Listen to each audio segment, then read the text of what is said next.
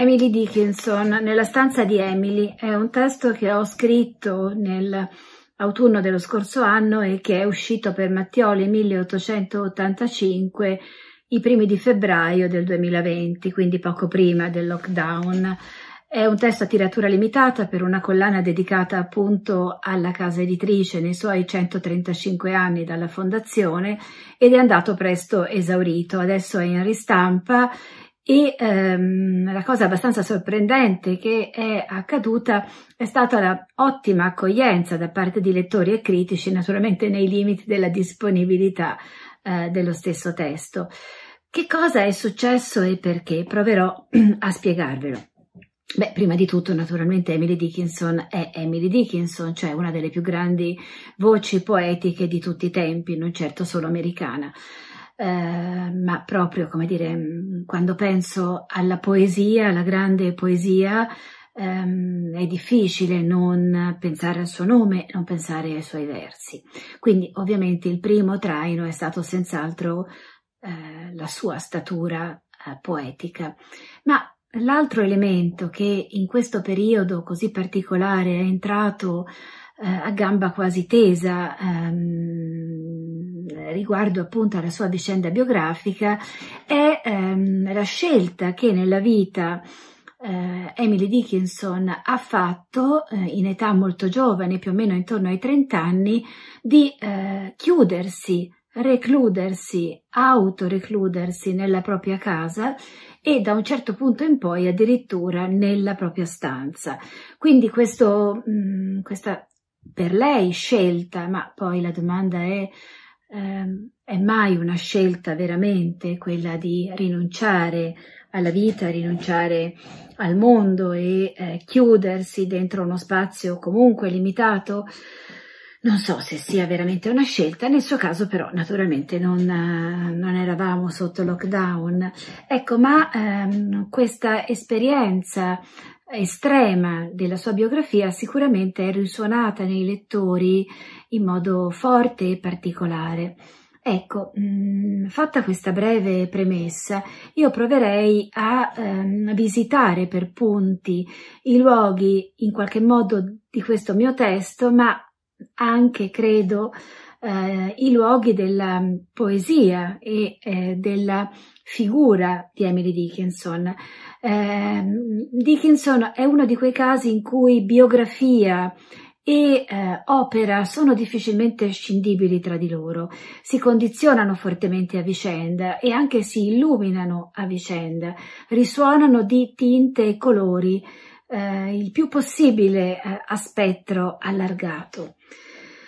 Allora, mm, riparto quindi dal, dall'inizio, anche dalla sollecitazione che ha portato me a compiere questo viaggio, perché il testo è prima di tutto un viaggio, il mio testo anche è prima di tutto un viaggio. Un viaggio dove? Un viaggio ad Amherst.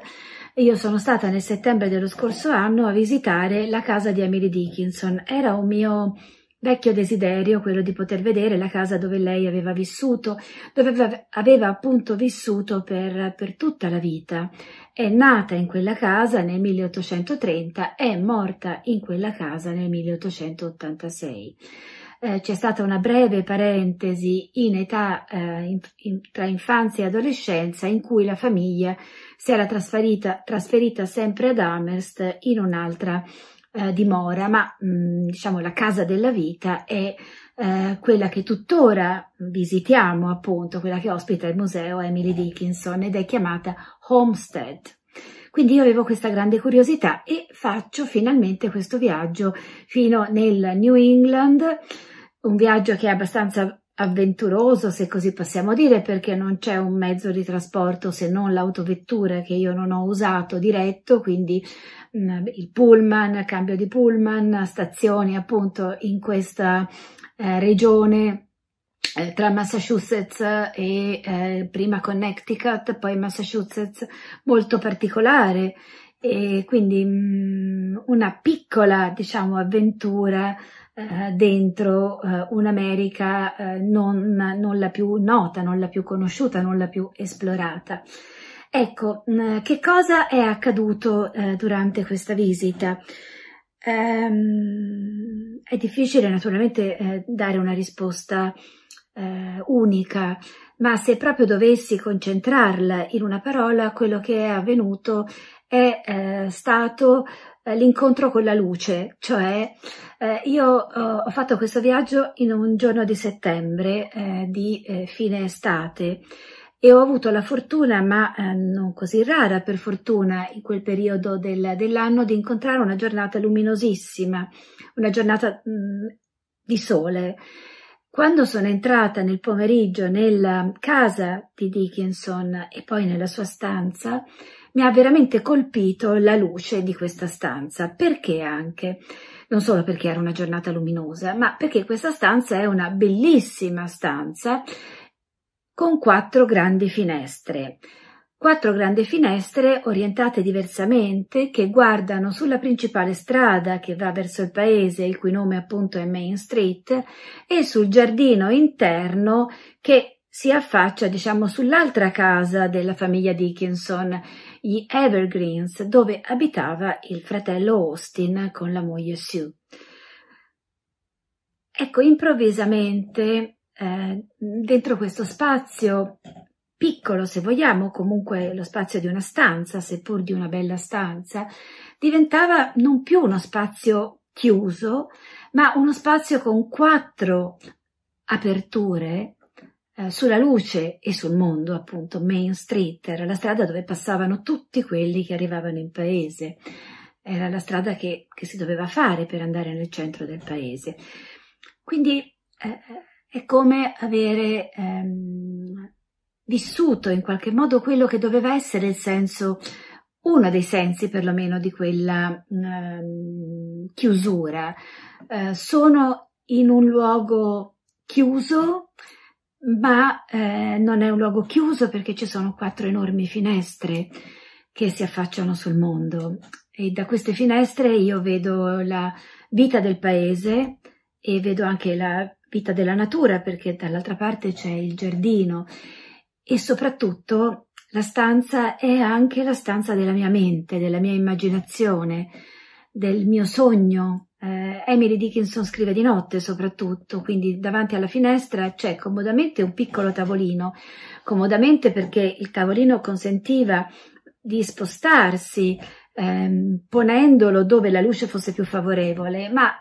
Prima di tutto e soprattutto Dickinson scrive durante la notte con la lampada sul tavolo. Quindi a quel punto quella stanza è la stanza delle meraviglie, è la camera delle meraviglie, è una camera di, di sogno e di lotta, di lotta con il mondo, di lotta con quello che il mondo vorrebbe o avrebbe voluto fare di lei. E qua, eh, diciamo, mm, passiamo al secondo punto quindi la stanza, la luce, l'autosegregazione, eh, ma anche l'immaginazione, il potere della fantasia di eh, inventarsi mondi partendo da un mondo chiuso, apparentemente chiuso e piccolo. Ecco, ehm, la seconda ehm, eh, questione che ehm, questa visione eh, ci Ehm, ci illumina eh, è quella della ferita o della mancanza che eh, spinge eh, probabilmente Dickinson prima di tutto alla scrittura e poi alla segregazione. Um, Emily probabilmente trova nella scrittura la sua forma di espressione più congeniale ma eh, già in età giovanile la scrittura di, di poesie abbastanza spontanee, eh, fatte eh, ai tempi diciamo della, de, della sua formazione, della scuola, è una scrittura che viene sempre condizionata dal fatto che ehm, una donna, una giovane donna, non è destinata o non doveva essere destinata a questo. Il destino di una giovane donna era quello di costruire una famiglia, di conservare il nucleo familiare.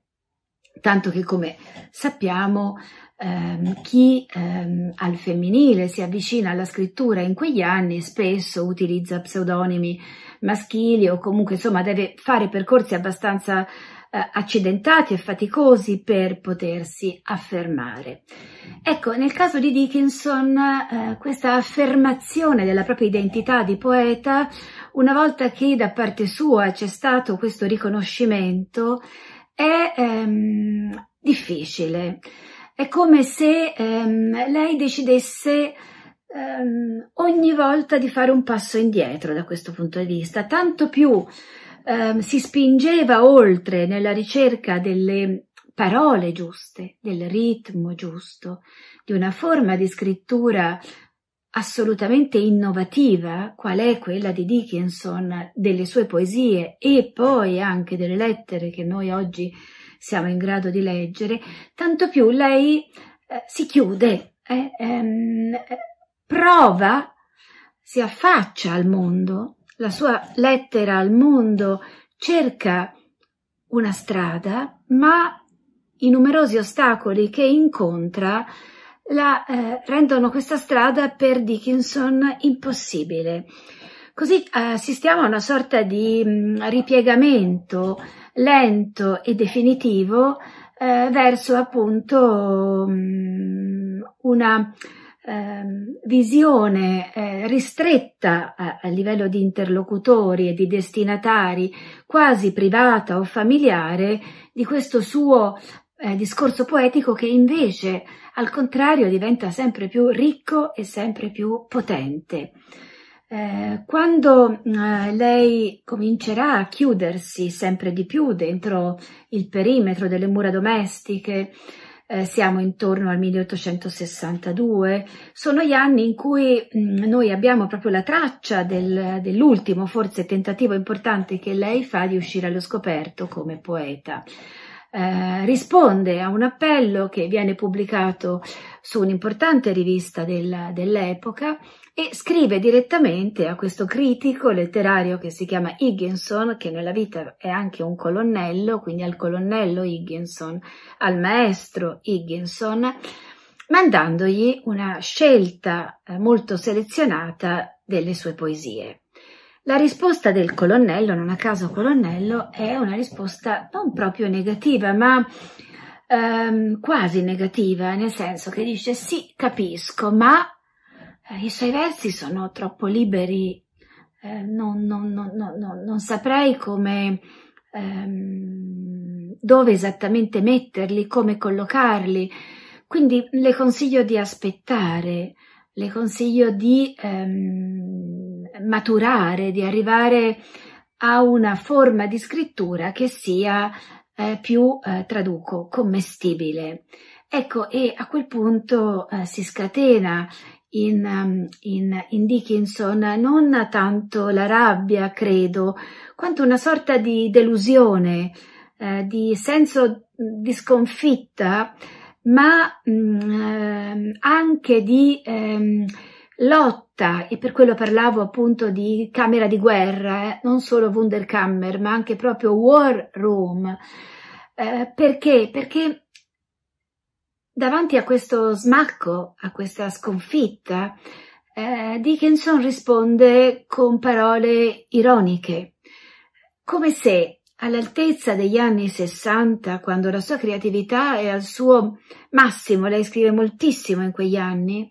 tantissime poesie che anche trascrive, corregge, eh, c'è tutta una lunga ehm, questione sulle varianti che mh, in un primo tempo lei seleziona e poi mano a mano lascerà invece quasi a testo, come dire che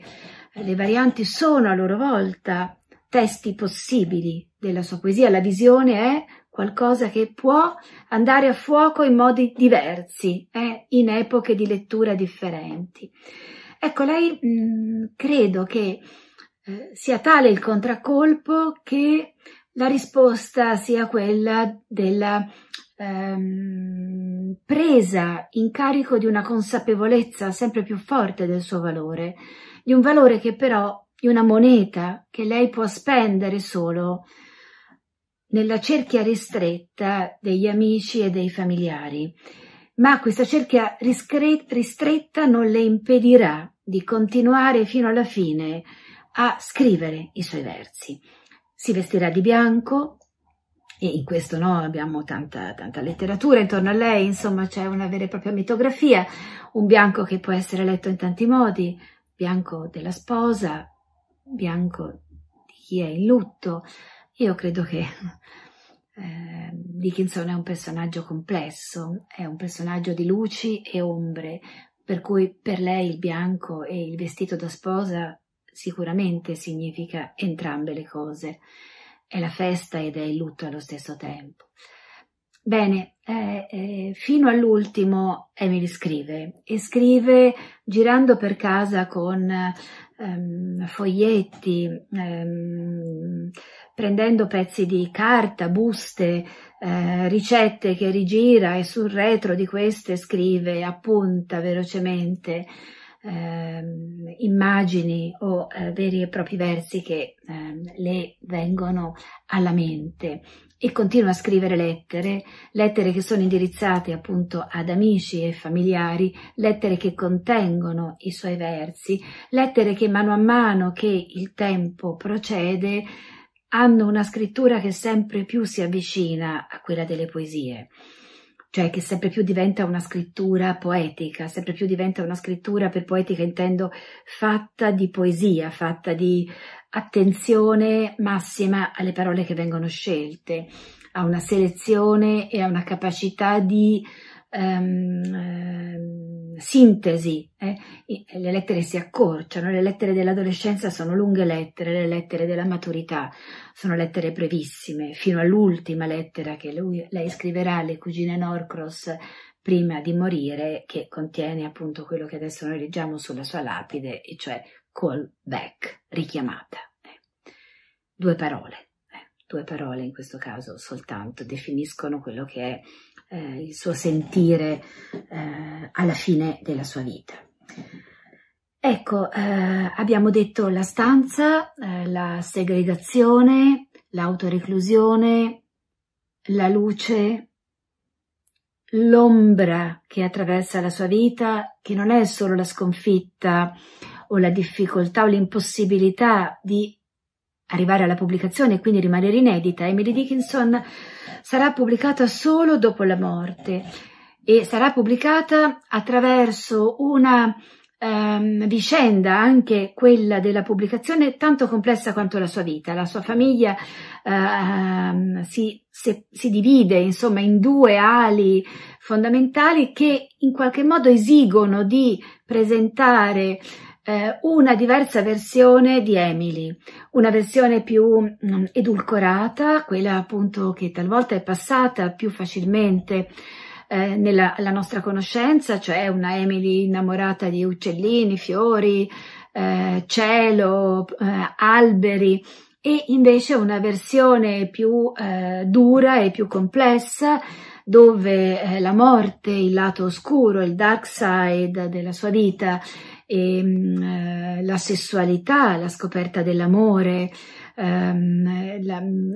la, capacità di vivere eh, le sue pulsioni affettive e sessuali in modo molto aperto e probabilmente anche in modo ehm, non tradizionale. Si può parlare, eh, o perlomeno attraverso i suoi versi, eh, sicuramente ci sono delle forti caratterizzazioni eh, verso un amore mh, mm, completamente eh, femminile, eh, di tipo mh, mm, con tinte probabilmente omosessuali, ma non è questo il punto, è amore appunto, questo sì, solo questo eh, in fondo ci, ci interessa. C'è ehm, una Emily, ehm, diciamo, tutta ehm, un po' mh, mm, ripulita, un po' come l'immagine, eh, l'unica che noi conosciamo del daguerrotipo che la rappresenta, no? un po' monacale, ehm, assolutamente seriosa e forse anche molto melanconica e anche un po' triste, e invece un ritratto eh, di Dickinson che la vuole ironica, eh, vitale, eh, creativa, contraddittoria, ehm, lampeggiante, eh, piena di appunto di luci e ombre, ma anche di tanta luce, eh, quella luce di cui appunto parlavo all'inizio e che è stato un po' il filo conduttore del mio viaggio. io non sapevo che avrei trovato quella luce, ma quando ho visto quella luce, ecco lì ho mh, mm, capito che ero arrivata esattamente eh, alla fine del viaggio o ehm, forse proprio lì cominciava il mio viaggio dentro i versi della Dickinson e anche un po' dentro la mia storia, ehm, dentro, dentro, di me, eh, in qualche modo dentro la mia storia di lettrice, dentro la mia storia di ehm, persona che si è occupata per tutta la vita di libri.